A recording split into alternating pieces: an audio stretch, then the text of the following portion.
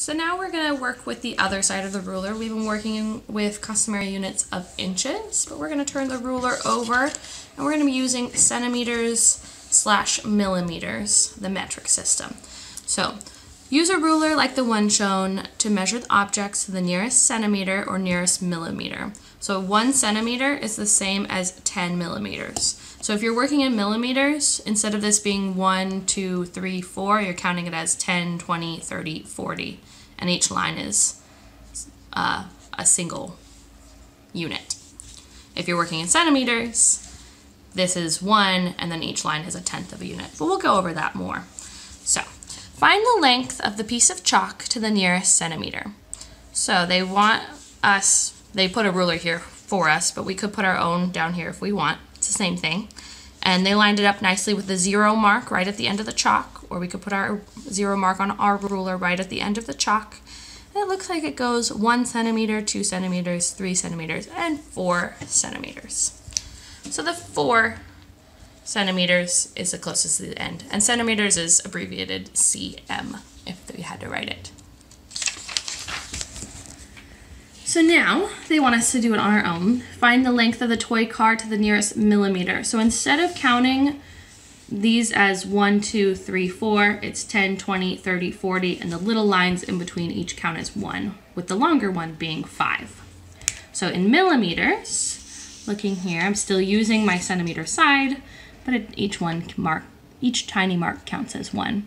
So I can go 10, 20, 30, 40, 50, 51, 52, 53, 54, 55 at the big mark, 56. It looks like it's just about 56 if I line it up, right between 56 and 57, but I'm going to call that 56.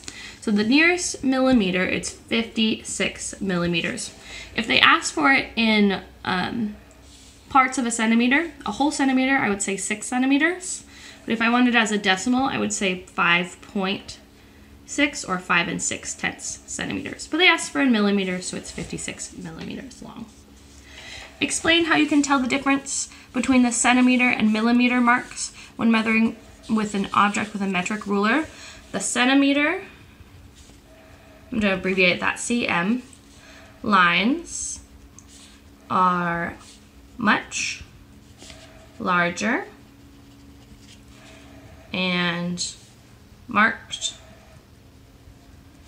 with numbers.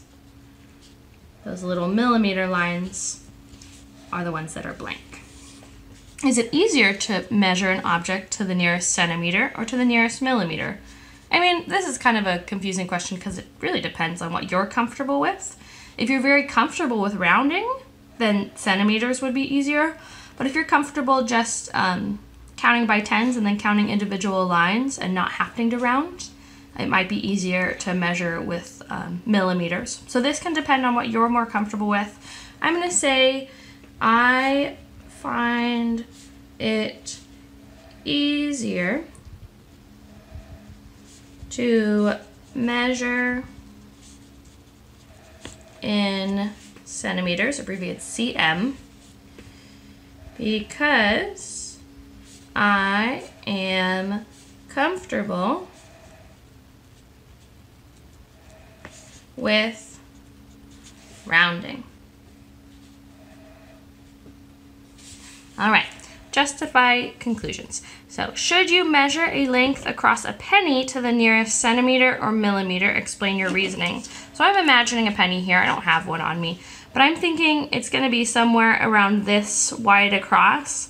And that's not very descriptive because it could be over here and it could be over here. So I think it would be more reasonable to measure in millimeters because they're smaller and more exact. It would be more reasonable to measure in millimeters. I'm abbreviating that mm because they are more exact. All right, so I want you to try the next page. Go ahead and give it a go on your own, and then in the description box below, I have answers to some of the problems so you can check your answer words.